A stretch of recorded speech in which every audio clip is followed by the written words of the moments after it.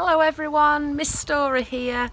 I thought you might like to join me in the garden to read the book Katie and the Starry Night by James Mayhew.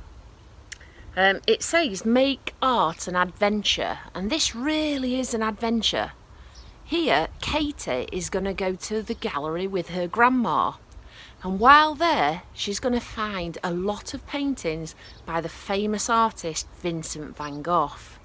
And there she has this fantastic adventure with all of the paintings. So I hope you're going to join me and we'll look through this together.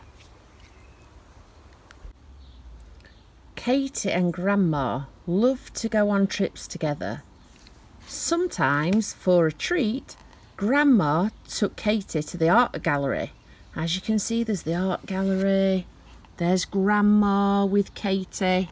And they're going to see the Vincent van Gogh exhibition. One day they went to see some paintings by Vincent van Gogh. Katie's favourite was called The Starry Night. It looks magical, she said, like a dream. Talking of dreams, said Grandma, I could do with a nap. Katie looked more closely at the picture. The stars seemed to be moving.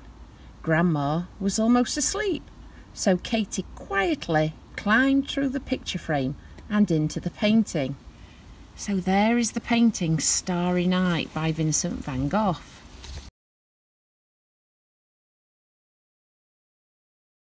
Dazzling stars sparkled and swirled. They looked close enough to touch, so Katie reached out and grasped one.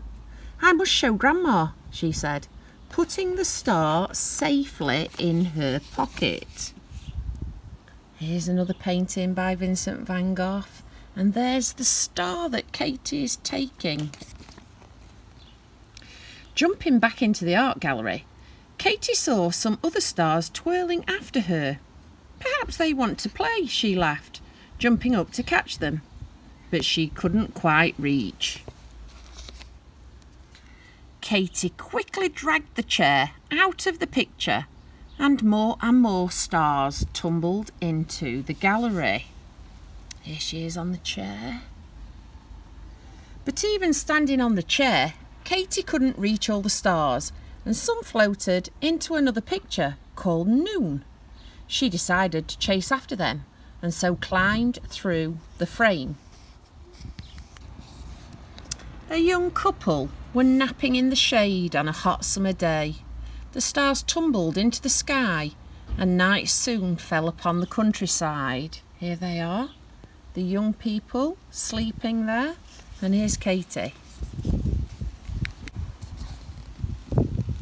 The woman, whose name was Marie, woke up Oh, look at all the stars, she said. Surely they don't belong in this painting. Uh, no, said Katie. Would you help me catch them? Climbing up the haystack, Katie and Marie had a wonderful time jumping to catch the stars and landing on the soft hay. But when they jumped back into the gallery, the spinning stars slipped through their fingers once again. We must get them back into the painting before the gallery guard sees they're missing, said Marie. But even Marie wasn't tall enough to catch them. Look, there's a ladder, said Katie, spotting a picture called the Olive Grove, and quickly clambered through the frame. Women were gathering olives from a tree. There they are, look, taking the olives that are growing. Please can I borrow your ladder, ladder, said Katie. I have to catch some stars. The ladies laughed.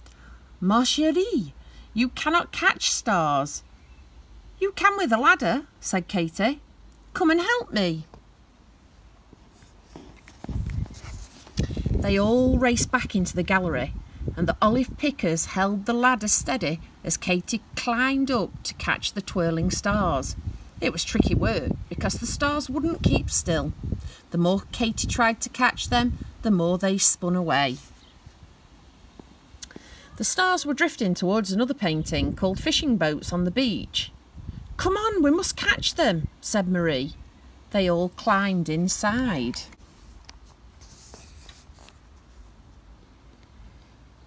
In the picture, the stars were caught on a breeze and twirled out to sea. How will we reach them now? asked Marie. Let's take a boat, said Katie. Oh, yes, a boat ride, said the olive pickers, giggling. They sailed across the sea as the stars sparkled in the sky. Oh, what shall we do? worried Marie. The stars are so high. Katie saw a big fishing net in the boat. Let's try this, she said. And they threw the net as high as they could and caught the stars. At last, said Katie, as everyone cheered. Back in the gallery, they all quickly ran to the Starry Night picture. Now we can put the stars back before the guard finds out, said Katie. They threw the stars into the sky, but it didn't quite look right. What's that in your pocket, Katie? asked Marie. My star, said Katie. I wanted to show it to Grandma. But it might float away again, said Marie. Put it in the starry night and then you can see it whenever you want.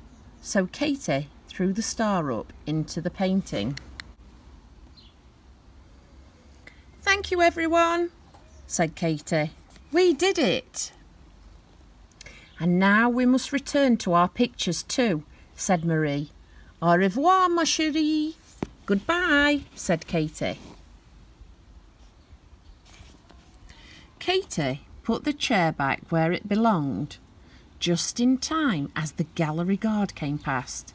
Whew, said Katie. Hello.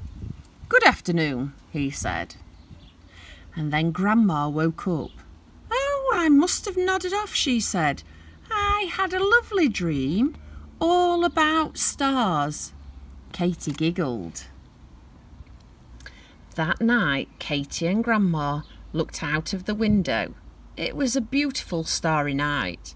The stars look almost alive, said Grandma. Perhaps they are, laughed Katie. Grandma smiled. Perhaps, she said. Good night, Katie.